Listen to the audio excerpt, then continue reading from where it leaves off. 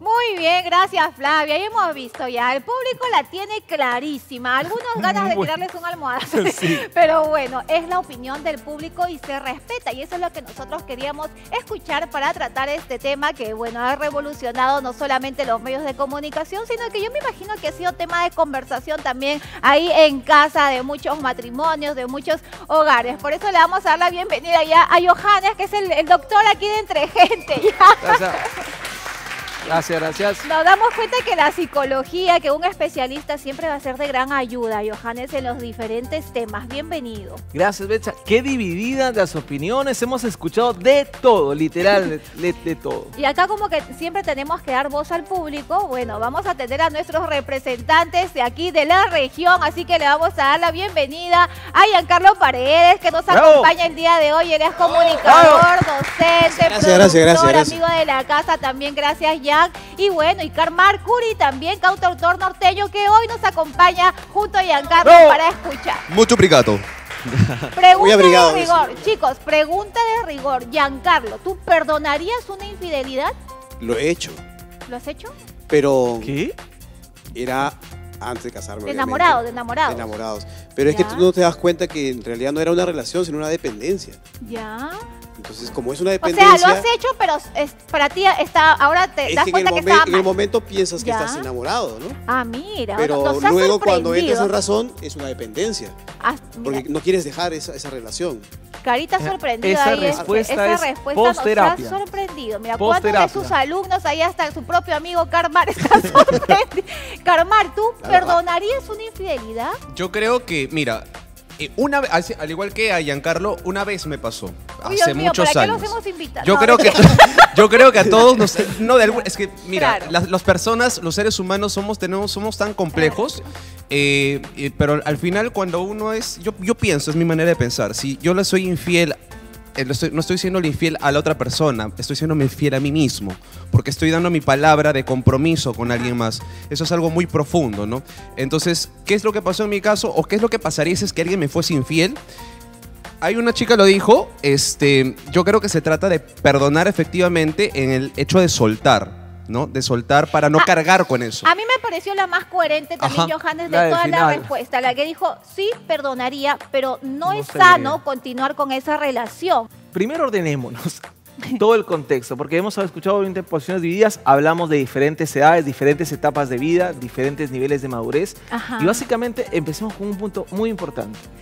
Perdonar o no realmente va a depender de cada situación específica, porque generalizar y decir todas las infidelidades deben perdonarse, no necesariamente.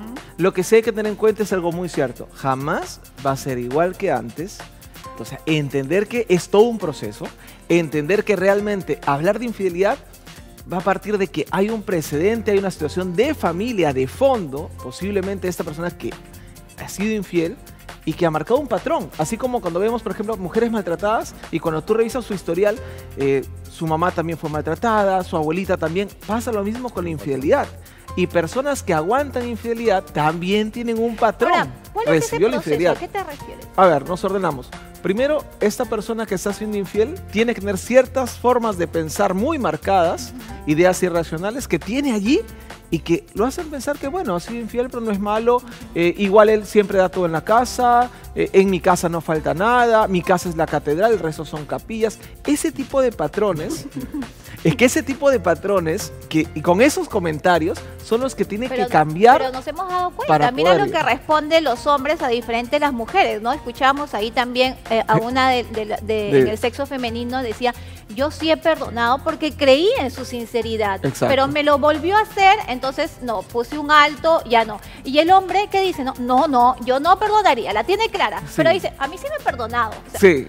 ¿Dónde estamos? Patrón, pues patrón cultural. Seguimos siendo una sociedad machista, lamentablemente, y todavía seguimos pensando que el hombre tiene la licencia de ser infiel porque es hombre. A ver, y, vamos con los chicos. Acá hay otra pregunta de acuerdo a lo que hemos visto y, a ver en casa si de repente se identifican. Por ejemplo, tú en algún momento, Giancarlo, Carmar, los escuchamos. ¿En algún momento han podido conversar esto con sus parejas? ¿Sí? Sí, sí, sí, claro, claro, sí. Ya con tu actual esposa, Giancarlo, Claro, lo hemos conversado. Y, la cuestión está en que parece mentira, pero hay algunos ejemplos que uno va viendo. porque evidentemente toda relación tiene pues un, ciclo, ¿no? Altibajos, momentos de cúspide, momentos donde hay pues de repente caen en rutina y todo eso. Y cuando han visto muchos casos, dicen, no, pero en ese momento estábamos separados, dicen, ¿no? Muchas personas cuando son infieles, en ese momento estábamos separados o nuestra relación estaba mal. ¿Y con tus hijos, Jan, los, has intervenido a ellos para ver qué piensan? Sobre Por ejemplo, todo cuando si ven eso en la tele. Sí, claro, claro, sobre todo con los mayores, ¿no? Gabriel, bueno, ya tiene casi 16 y digamos que algo que dice este, nuestro querido directo psicólogo invitado el día de hoy, es que es una sociedad machista, ¿sí o no, Johannes? Sí, tal cual. Entonces, por ejemplo, a mi hijo yo le hablo muy directo, le digo, no, eh, traigo a colación otro tema. Si es sí, es sí, si es no, es no, si es no sé, es no, ¿no? Pero aparte también el hecho de, no te gustaría que le hagan eso a tu hermana. Piensa que esa niña puede ser tu hermana. no te gustaría que alguien le haga lo mismo que, tú pudieras hacerle a la chica con la que estés. ¿no? Es un poco como para intimidarlo también y, sepa de que ¿Cuál ha sido, Giancarlo, cuál ha sido la, la conclusión entre parejas? O sea, ¿qué te dice tu esposa? ¿Qué le dices tú? ¿Se perdonarían? No, no, no habría ese perdón porque, y como dije hace un momento, o sea, es lo que pones en juego, ¿no? O sea, ¿qué estaría poniendo en juego yo? Mis hijos, de hecho de que si hay una ruptura, ya no viviría con ellos y no sé cómo lo tomaría. Yo soy una persona muy de casa, ¿no? Entonces, el no estar con ellos a mí sí me chocaría muchísimo. Y, y en tu caso, Carmar, porque a veces por más años o confianza que tengas con las parejas, a veces los tabúes no te permiten tocar estos temas que son muy controversiales. No, los quieren hablar. Son los, yo creo que siempre en toda pareja, desde, desde que inicia la relación, deben, debemos tener claro, las personas, los individuos, nuestros no negociables, ¿no? Entonces, ahorita en el mundo hay tal variedad de relaciones, ¿no? En ese aspecto, o sea, pero si mi no negociable es, mira, yo te doy mi, o sea, exclusivo para ti, tu exclusiva para mí, tenemos un patrón de valores similares, entonces es ahí donde se hace funcional pero se conversa desde el principio, ¿no? La idea de una pareja, sí, y lo dijeron incluso, sí, eh, lo dijeron. comunicarse. La si no aprendemos a comunicarnos, y la comunicación debe ser también, Betsa, eh, hablar como tú lo has dicho, ¿no? Oye, ¿qué opinas de lo del culto? ¿no? Oye, mira, ah, yo opino eso, y vemos cómo vamos. Entonces, si va la conversación, tú no serás como el culto, ¿no? O sea, ya le estás... O, le hace psicología inversa y dice, me han contado, me han contado que la vecina le ha perdonado a su esposo. Sí y empiezas a irte hacia el otro lado y realmente a generar un problema. Está el lado opuesto, que también me han encantado las entrevistas porque hemos tenido de todo. Está eh, la, mente abierta, open mind. Bueno, si quedamos y él me va a perdonar y yo también, fresh. Sea, ¿qué es eso? eso realmente quiere decir que las personas no se quieren, porque una persona, y eso es parte de quererse uno mismo, es respetarse.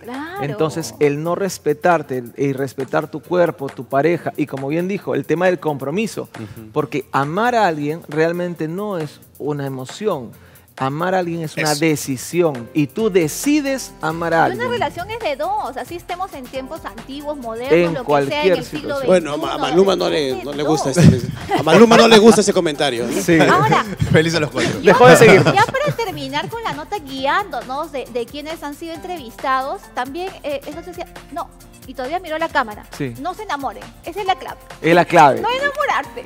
Yo por costumbre, ¿qué es eso de costumbre? Aquí hablábamos más bien que a veces la costumbre es lo que hace que te desenamores, que, que, el amor ya no sea lo mismo. Es que en realidad no debe ser por costumbre, pero ahí sí tienes una alerta. Como bien dijo Jan y como bien lo dijo estimado Car, hay un tema de dependencia que se puede dar. Depender de alguien no es lo mismo que amar a alguien el que tú necesites a alguien y no puedas vivir si no está la persona, eso es dependencia. Y una alerta de dependencia, anda al psicólogo. Porque y de repente puede ser el caso de muchos, ¿no? Que no solamente perdonan una infidelidad, sino que de repente andan perdonando lo violencia. lo, normalizan. Lo normalizan. O hay gente que incluso termina con alguien y no puede estar solo. A la semana, las dos semanas. Y repiten el patrón. Sí, sí, ya está con alguien. Claro. No, pero lo que pasa es que también viene pues de, hace muchos años, ¿no? Que sabemos de que hay muchas personas, que mujeres sobre todo, que sabían que su esposo tenía otra familia. Sí. Y era muy normal, era normalizado eso, totalmente. Y mira cómo regresamos al patrón familiar. Y mira, hay una invitación a tu público. Si tú con esa conversación estás detectando y dices, oye, yo sí vengo de ese patrón familiar y te das cuenta que hay una situación que está pasando en casa, busquen ayuda antes de que esto se genere o genere una situación que va a afectar a la persona, a la pareja y a la familia en sí. Siempre mejor es hablarlo antes de lastimar Comunicarse. a alguien. Así es, Johannes, muchísimas gracias como siempre por ayudarnos no solo en ese, sino en muchos temas. A los chicos también. Jan, sé que estás ahorita en un nuevo emprendimiento. Coméntanos un poquito más la invitación. Si tienen algún equipo audiovisual que lo tienen tiradito por ahí, no le quieren dar una limpieza, por favor, ahí búsqueme en Facebook. Colabora, Pebaro para, los pañales. Ahí está, ahí está, y van a estar todas las redes de Jan, que como siempre él, no es no solamente tiempo perdido, es tiempo donde uno piensa más, se pone así súper creativo, se empodera y ahí lanza nuevos emprendimientos. Y bueno, Carmar se queda con nosotros porque vamos a despedir el programa, nos vamos a ir bailando con una nueva producción de él, con Doctor Norteño y por supuesto aquí con más talento local. Gracias Johannes, gracias chicos. Vamos a, una pausa y volvemos.